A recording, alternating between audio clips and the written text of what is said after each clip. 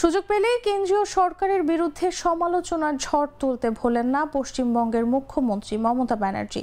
যে কোনো ইস্যুতেই তার নিশানায় থাকেন ভারতীয় প্রধানমন্ত্রী নরেন্দ্র মোদী। তবে হাজারো মতবিরোধ, রাজনৈতিক তিক্ততা থাকা সত্ত্বেও প্রধানমন্ত্রী মোদীর জন্য সুস্বাদু আম পাঠালেন পশ্চিমবঙ্গের মুখ্যমন্ত্রী।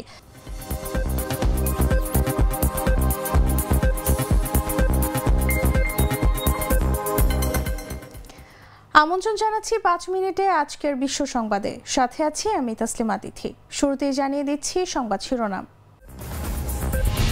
ইউক্রেনে বন্যা, পানিতে ভাসছে মরদেহ। ফ্রান্সে ছুরি নিয়ে হামলায় শিশুসহ আহত সাত। হাসিনা মোদির জন্য আম পাঠালেন মমতা।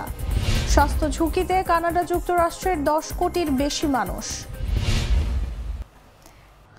এতক্ষণ শুনছিলেন সংবাদ শিরোনাম, এবারে চলে যাচ্ছি পুরো খবরে।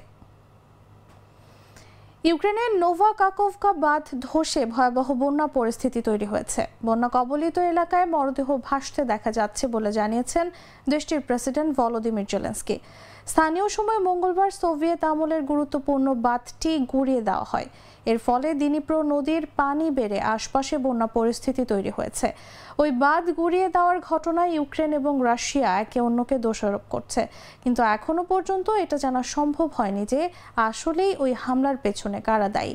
বুধবার যুক্তরাষ্ট্রভিত্তিক নিউজ সাইট পলিটিকোর সঙ্গে আলাপকালে প্রেসিডেন্ট জেলেন্সকি অভিযোগ করেছেন যে, বন্যা কবলিত এলাকায় লোকজনকে উদ্ধারের সময় ইউক্রেনীয় উদ্ধারকর্মীদের গুলি করেছে রুশ বাহিনী। ফ্রান্সের দক্ষিণ পূর্বাঞ্চলীয় অ্যানেসি শহরে ছুরি নিয়ে হামলার ঘটনা ঘটেছে। এতে অন্তত সাতজন আহত হয়েছে, যাদের মধ্যে ছয়জনই শিশু। শিশুদের মধ্যে তিনজনের অবস্থা খুবই আশঙ্কাজনক। বৃহস্পতিবার অ্যানিসের একটি খোলা চত্বরে এ হামলার ঘটনা ঘটে। এএফপির এক প্রতিবেদনে জানানো হয়েছে, এরই মধ্যে সন্দেহভাজন হামলাকারীকে গ্রেফতার করা হয়েছে। পুলিশ বলছে, হামলায় মোটে নয় জন আহত হয়েছে। তাদের মধ্যে আটজন শিশু ও একজন প্রাপ্তবয়স্ক। আহত শিশুদের সবার বয়সী প্রায় তিন বছর। দেশটির স্বরাষ্ট্রমন্ত্রী জেরাল্ড ডারমানিন সন্দেহভাজন হামলাকারীর গ্রেফতারের বিষয়টি নিশ্চিত করেছেন। তিনি এ ঘটনা দ্রুত পদক্ষেপ নেওয়ায় পুলিশকে ধন্যবাদ জানিয়েছেন। তিনি আরও জানান যে শহরে এ ঘটনা ঘটেছে, তা সুইচ সীমান্ত থেকে বেশি দূরে নয়। সুযোগ পেলেই কেন্দ্রীয় সরকারের বিরুদ্ধে সমালোচনার ঝড় তুলতে ভোলেন না পশ্চিমবঙ্গের মুখ্যমন্ত্রী মমতা ব্যানার্জি।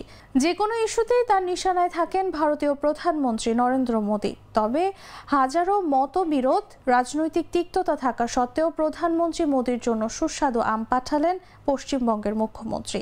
শুধু ভারতের প্রধানমন্ত্রীর কাছেই নয়, বাংলাদেশের প্রধানমন্ত্রী শেখ হাসিনার জন্য আম উপহার পাঠিয়েছেন মমতা ব্যানার্জি। তৃণমূল প্রধানের কাছ থেকে আম উপহার পেয়েছেন ভারতের রাষ্ট্রপতি দ্রৌপদী মুর্মু।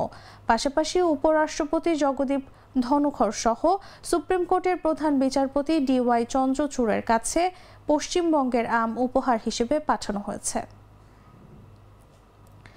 কানাডার দাবানল নিয়ন্ত্রণ করা যাচ্ছে না। ভয়াবহ এই দাবানলের কারণে কানাডা এবং যুক্তরাষ্ট্রে দশ কোটির বেশি মানুষ গুরুতর স্বাস্থ্য ঝুঁকির মধ্যে আছেন।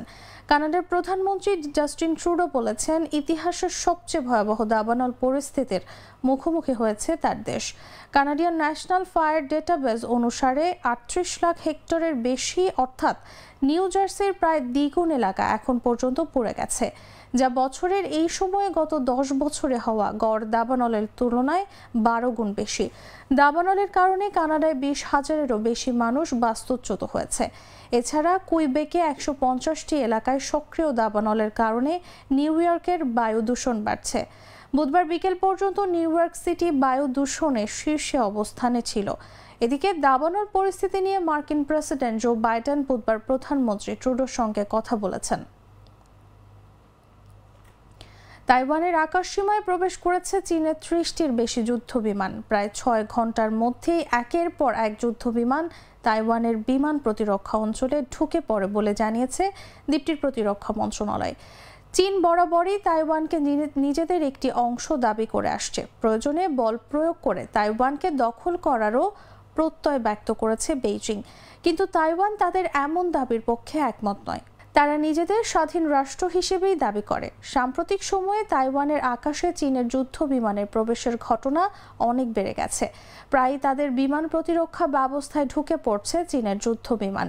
আগের বছরগুলোর তুলনায় গত বছর এই সংখ্যা অনেক বেশি ছিল। এমনকি চলতি বছরের শুরু থেকে এখন পর্যন্ত বেশ কয়েকবার এই ঘটনা ঘটেছে। দর্শক, এই ছিল এখনকার মতো। এই নিউজটি আপনারা পরবর্তীতে শুনতে পাবেন Jago F M ninety four point ফোরের অ্যাপে। প্রতি মুহূর্তের সর্বশেষ খবর জানতে ভিজিট করুন Jago news twenty four dot com ধন্যবাদ সবাইকে।